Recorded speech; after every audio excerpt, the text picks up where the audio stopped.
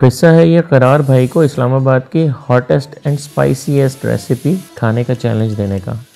नए आने वाले सब्सक्राइबर्स जो हमें नहीं जानते, हम हैं महमूद अली सिद्दीकी, जायक़े और तजस्स के इस सफ़र में आपके मेज़बान, खुश आमदीद।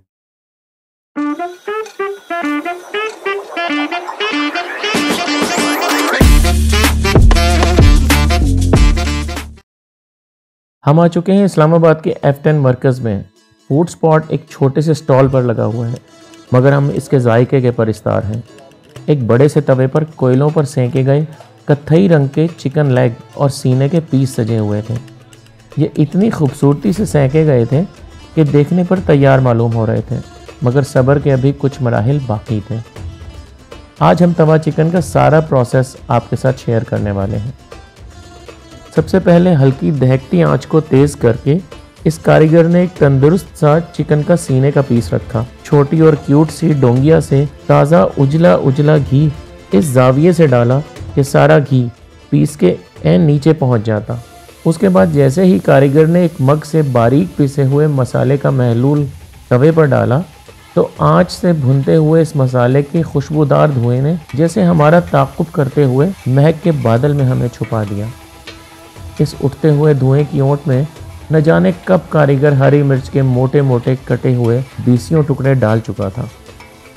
इस पीस को भूनते भूनते साथ साथ इस पलटे से चिकन के पीस को ज़रबें लगाई जा रही थी, ताकि गोश्त अच्छी तरह गल जाए और मसाले वाला महलूल गोश्त के रेशे रेशे में जज्ब हो जाए।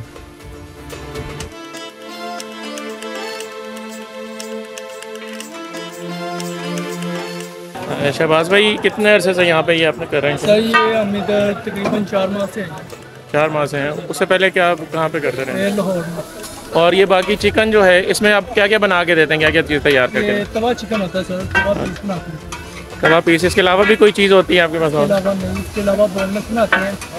और इसकी तवे पीस के बोनलेस बनाते हैं। अच्छा बोनलेस भी इसी पे बनता है। और कढ़ाई वगैरह भी इसी पे बन जाती है? अच्छा। और इसको ये जो चिकन जब हमारे पास आता है तो उससे पहले किस हालत में होता है? ये कच्चा कच्चा गोश्त होता है इसको पहले ग्रिल करते हैं ठीक उसके है। बाद ये तवे के ऊपर फ्राई हैं। और अगर कोई बंदा इतना स्पाइसी ना खाता हो?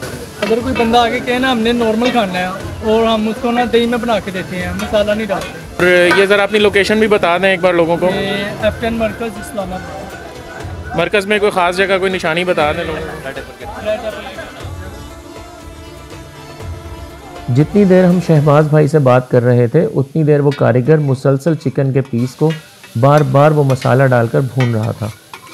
पाँच से छः बार वो मसाला डाला गया और इस कदर भुना गया कि हमें यकीन हो गया कि चिकन पीस का कोई एक भी ऐसा रेशा नहीं बचा होगा जिसमें जायका रच बस ना गया हो।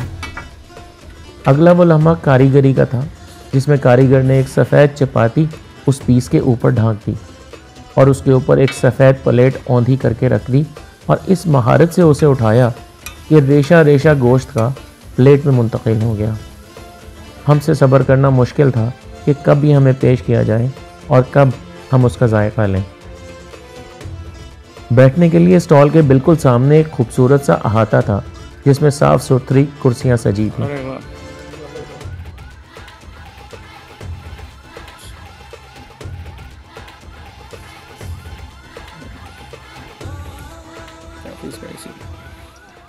अब हम इसका बाइट लेकर देखते हैं।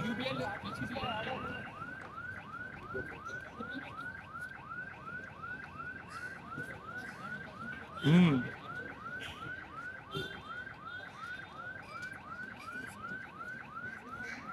ये काफ़ी ज़्यादा स्पाइसी है और टेस्ट बहुत अच्छे हैं। अरोमेटिक है बहुत खूबसूरत इसका जब बन रहा था तभी बहुत ज़्यादा अच्छा अरोमा आ रहा था इसका। और ये काफ़ी ज़्यादा स्पाइसी है। इस वक्त इसमें जब मैं आपको दिखा रहा हूँ, ये फुल इस वक्त मिर्चों से भरा हुआ है और हरी मिर्च काफ़ी ज़्यादा है और इसमें जो मसाला है, इनकी जो रेसिपी है, वो भी इन्हें बहुत ज़्यादा डाली हुई है।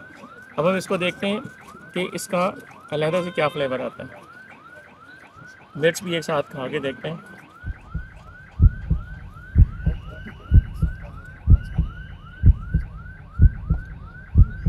हम्म बहुत अच्छे हैं। लेकिन बहुत ज़्यादा स्पाइसी है। आपको इसके साथ ड्रिंक लाजमी चाहिए होंगे। हम्म। इसको देखते ही पहले तो डर लग रहा है। ठीक है कि ये इसके साथ मैं खाने वाला हूँ। देख रहे हैं आप ये और ये मसाला। बिस्मिल्लाहिर्रहमानिर्रहीम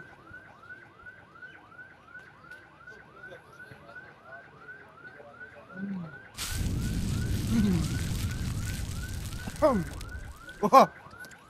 बहुत है सारी आग है इसके अंदर। हम्म, बहुत आ गया 2,000 years later. वाकई में मिर्चें बता रही हैं कि मिर्चें? हैं अपनी वो कहते हैं ना खाना बताता है कि वो कैसा है। ये खाना बता रहा है कि ये स्पाइस लवर के लिए हेवन है। जायके और तजस्स के मेहमानों, अगली बार हम फिर चलेंगे एक नए जायके, एक निराली जगह की तलाश में। अगर आपने अभी तक हमें सब्सक्राइब नहीं किया तो अभी कर लीजिए, ताकि आप हमारी महफिल में दोबारा रौनक अफरोज हो सकें। दावतनामा चाहिए हो तो बेल के आइकन पर भी क्लिक कर दीजिएगा।